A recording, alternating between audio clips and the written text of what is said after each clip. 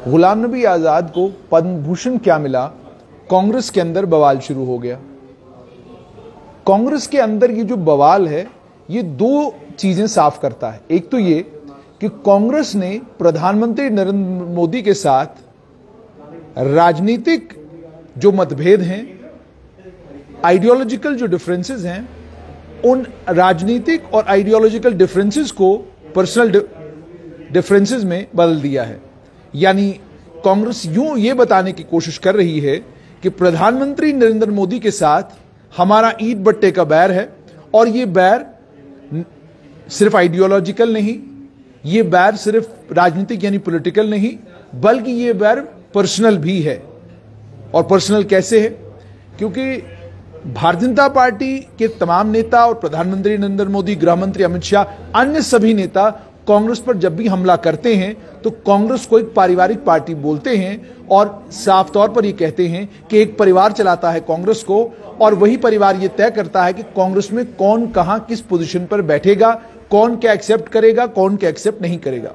गुलाम नबी आज़ाद को पद्म भूषण मिला। जयराम रमेश ने ट्वीट किया। ट्वीट हालाँकि बुद्ध बुद्धदेव भट्टाचार्य को लेकर किया था, वेस्ट बंगाल के पूर्व मुख्यमंत्री को लेकर किया और कहा कि बहुत अच्छा किया बुद्धदेव आपने कि आपने अवार्ड वापस कर दिया। आपको यही करना चाहिए था। और अगली लाइन में यह कहा कि आप आज़ाद हैं, गुलाम नहीं।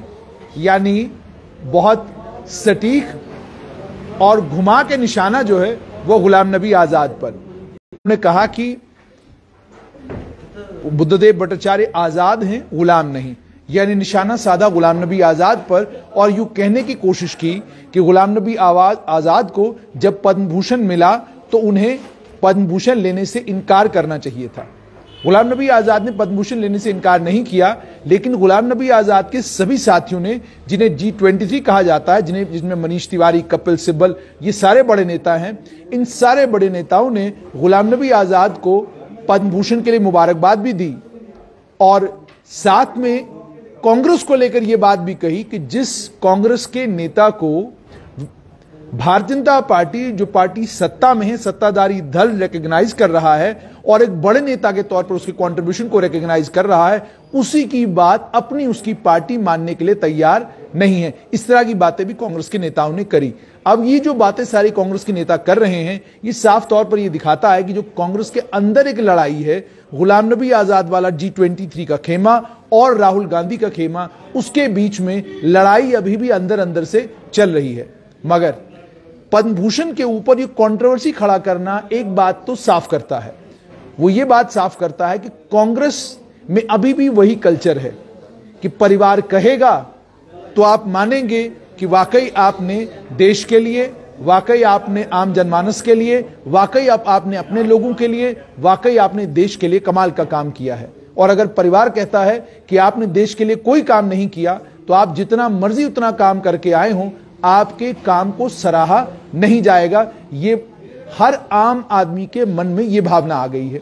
आम आदमी ये भी कहता है कि पद्म, पद्मभूषण हो, पद्मश्री हो, या पद्म विभूषण हो, या उसके अलावा भारत रत्न हो, कोई भी अवार्ड जब सरकार किसी भी व्यक्ति को देती है, उसका दल, उसकी राजनीति उसका सोच उसकी विचारधारा देखकर नहीं देती बल्कि उसका काम देखकर देती है।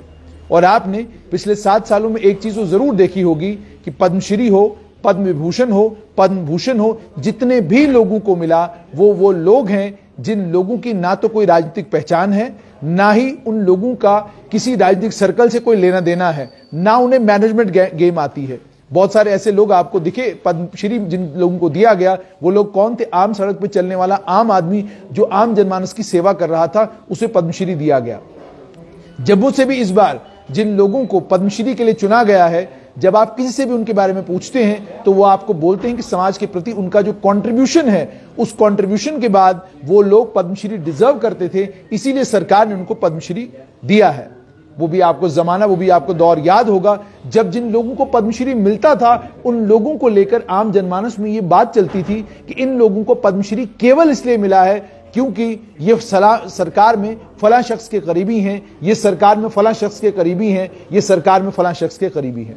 और एक पत्रकार के नाते मैंने भी ये देखा है कि जब अवार्ड देने की बारी आती है, जब किसी व्यक्ति का टैलेंट, किसी व्यक्ति की काबिलियत, किसी व्यक्ति का जनमानस के साथ संपर्क और किसी व्यक्ति का जनमानस की सेवा, इन सब चीज़ों को आंकने का वक्त आता है तो सरकारें अक्सर अपने फेवरेट्स चुनती हैं और चुनती हैं वो लोग जिन लोगों को लेकर उनको ये लगता है कि ये हमारी बात करते हैं, ये हमारे लोग हैं और इन हमारे लोगों को अवार्ड देना ज़रूरी है। लेकिन जब हम पद्म भूषण पद्मश्री और पद्म विभूषण की बात करते हैं, ये अक्सर पिछले सात सालों में कम से कम हमने उन लोगों को मिलते देखा जिन लोगों की कोई राजनीतिक पैठ नहीं, जिन लोगों की किसी पावर कॉरिडोर में कोई जान पहचान नहीं, जिन लोगों को जब अवार्ड मिले और फ़ोन आया, तब जाकर उनको पता चला कि उन्हें पद्मश्री अवार्ड से नवाजा गया है, उन्हें पद्मश्री अवार्ड दिया गया है। हालाँकि वो भी एक प्रक्रिया से गुजरे हैं, वो भी एक प्रोसेस से गुजरे हैं, लेकिन अवार्ड जब मिलते हैं तो लोग कहने पर मजबूर हो जाते हैं कि ये बहुत ट्रांसपेरेंसी के साथ काम हो रहा है।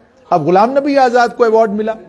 अब गुलाम नबी आज़ाद ने चूँकि पहले ही राहुल गांधी के खेमे के साथ लड़ाई ली, जब उन्होंने ये कहा कि कांग्रेस को अंतर मंथन करना चाहिए और पार्टी के अंदरूनी सिलसिले को ठीक करने की कोशिश करनी चाहिए, और अगर पार्टी का अंदरूनी सिलसिला ठीक होगा, तभी जाकर हम भारतीय जनता पार्टी जैसी पार्टी से मुकाबला कर सकते हैं। क्योंकि वो भारतीय जनता पार्टी के कौशल को, भारतीय जनता पार्टी की राजनीति को और उनके राजनीति करने के तरीके को समझते हैं, उन्होंने यही बात बार बार पार्टी के अंदर कही। और यह कहा कि आप इस तरह की राजनीति आप नहीं कर सकते हैं कि आपको एक दिन ख्याल आता है, आप सुबह उठते हैं और कहते हैं कि चलिए, आज रैली कराते हैं। आपको ख्याल आ गया कि चलिए जी, अब चुनाव आने वाले हैं तो दोबारा से चुनावी सरगर्मियों में शामिल हो जाते हैं। चुनाव आने वाले हैं तो चलिए अब लोगों के बीच में दोबारा चले जाते हैं। वो कहने की कोशिश कर रहे थे कि भारतीय जनता पार्टी ने जो तीन सौ पैंसठ दिन 24 घंटे, सात दिन वाला जो सिलसिला शुरू किया है कि कार्यकर्ता को भी तीन सौ पैंसठ दिन बिज़ी रखते हैं, चौबीसों घंटे बिज़ी रखते हैं, हफ़्ते के साथ तो दिन बिज़ी रखते हैं, आपको इसी तरीके से कांग्रेस को भी करना होगा, वरना कांग्रेस बड़ी पीछे रह जाएगी। ये बात गुलाम नबी आज़ाद ने कही, यही बात कांग्रेस को खली और नतीजा ये निकला कि आज भारतीय जनता पार्टी की सरकार ने, हालाँकि भारतीय जनता पार्टी की सरकार नहीं है, सरकार भारत सरकार है।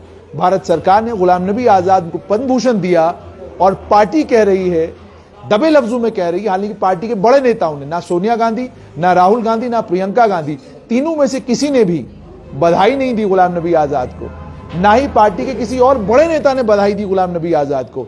और हद तो यह हो गई कि जम्मू कश्मीर प्रदेश कांग्रेस कमेटी के अध्यक्ष गुलाम अहमद मीर तक गुलाम नबी आज़ाद को मुबारकबाद नहीं दे सके। हद तो यह हो गई कि गुलाम नबी आज़ाद के अपने खेमे के लोग उनके हक में एक प्रेस नोट जारी करके राज़ी नहीं। वो उनके हक में अखबार के अंदर एक एडवर्टीजमेंट इशू करके राज़ी नहीं। क्यों? क्योंकि वो जानते हैं, अगर हमने एडवर्टीजमेंट इशू किया, अगर हमने उनको मुबारकबाद पब्लिकली दे दी तो नतीजा उसका यह निकलेगा कि हमें कहा जाएगा कि आप गुलाम नबी आज़ाद के खेमे के हो। इतनी ज़्यादा राजनीति एक अवार्ड के ऊपर, जबकि कांग्रेस को और कांग्रेस के नेताओं को यह बात समझनी चाहिए थी कि यह अवार्ड गुलाम नबी आज़ाद को उनके कंट्रीब्यूशन के लिए दिया गया है। और अगर सरकार ये अवार्ड दे रही है, और वो भी विपक्ष में बैठी हुई पार्टी के नेता को दे रही है तो ये कितनी बड़ी रिकग्निशन उस नेता की है और उस नेता की पार्टी की है। मगर कांग्रेस को समझाए कौन? इसलिए पहले भी मैंने एक बार कहा, विनाश काल विपरीत बुद्धि।